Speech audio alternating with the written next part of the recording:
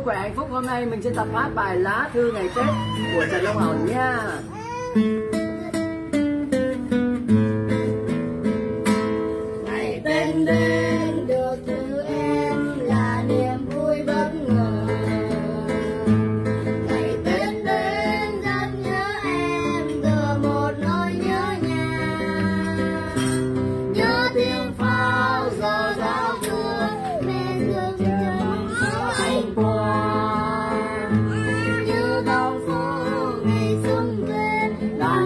Mừng như lá như hoa.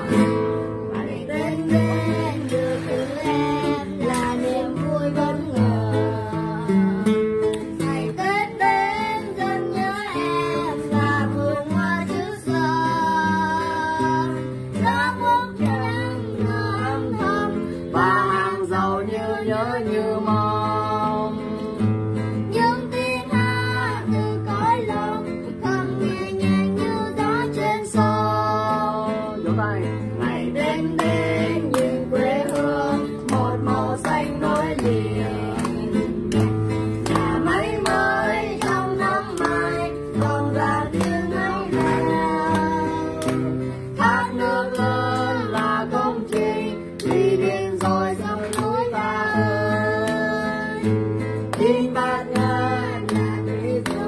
Dù yên thân rời đất nước ta.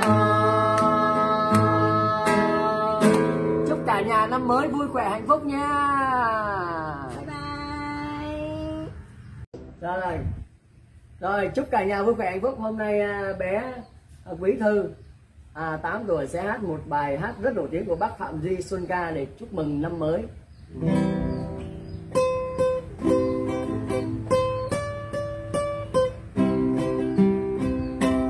xuân trong tôi.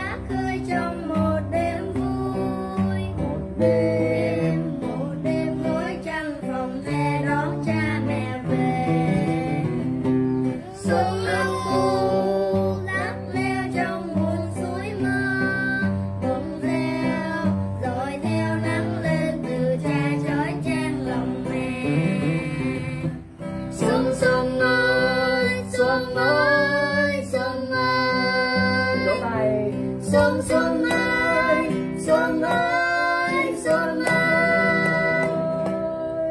chúc cả nhà vui khỏe hạnh phúc nha chúc mừng năm mới